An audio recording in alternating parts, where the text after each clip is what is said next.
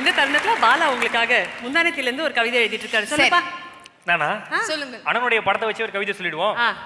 அண்ணன் நடிச்ச படம் வெண்ணிலா கபடி குழு. அண்ணன் நடிச்ச படம் வெண்ணிலா கபடி குழு. உங்களுக்குன்னே இருக்கீங்க ஏரியால நிறைய ரசிகர் குழு. நீங்க அண்ணன் நடிச்ச படம் ஜீவா நீங்க ஓகேன்னு சொன்னா உங்களை கூட்டிட்டு போவா கோவா? இருக்க இருக்கங்க இப்ப இப்பதான் கொஞ்சம் கொஞ்சமா வரேன். அண்ணன் நடிச்ச படம் எஃப்ஐஆர் எனக்கு உங்களை விட்ட வேற யாரு? அண்ணன் நடிச்ச படம் ஒரு கல் ஒரு கண்ணாடி. ஓகேன்னு சொன்னா எங்க அப்பா அம்மா கூட்டு வந்து சம்மந்தம் பேச நிப்ப உங்க முன்னாடி. அவங்க சொல்லுவாங்க பதிலுக்கு அண்ணன் நடிச்ச படம் மாவீரன் கிட்டு கீழே வந்தவனு இருக்கடா திட்டு அதானே? சரி ஓகே நான் விட்டுக்கிறேன் விடுங்க. மேடம் தேங்க்யூ என்ன மேடம் நான் ஏதோ உங்களுக்கு பொக்கே ப்ரெசென்ட் பண்ண மாதிரி தேங்க்யூன்றீங்க அவ்வளோ கஷ்டப்பட்டு ஆர்ட் அர்த்தம் ஒரு கவிதை சொல்கிறேன் மேடம் இந்த காலத்து பசங்களை நீங்கள் எந்த அளவுக்கு பாதிச்சிருக்கீங்க தெரியுமா? டு யூ நோ தமிழ் ஆ ஓகே ஐயோ எனக்கு ஏதோ பாருங்க டப்பிங் கொய்த்து படம் பார்க்குற மாதிரி இருக்கு. எனக்கு எனக்கு தமிழ் தெரியும்.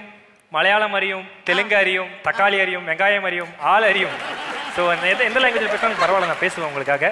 ஸோ இந்த காலத்து பசங்க வந்து உங்களை உங்கள் மேலே வந்து எவ்வளோ அன்பாக இருக்காங்கன்னா உங்களுடைய படம் பொன்னியின் செல்வன் பார்த்துட்டு கடலில் கூச்சிட்டானுங்க கடலுக்குள்ளே நீங்கள் இருப்பீங்களான்னு பார்க்கறதுக்குன்னு.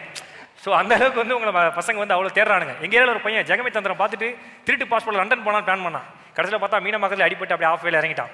ஸோ இப்படி பல விஷயங்கள் வந்து நடந்துகிட்டே இருக்கு. அவ்வளோ நீங்கள் இன்ஸ்பிரேஷனாக இருக்கீங்க யங்ஸ்டர்ஸுக்கு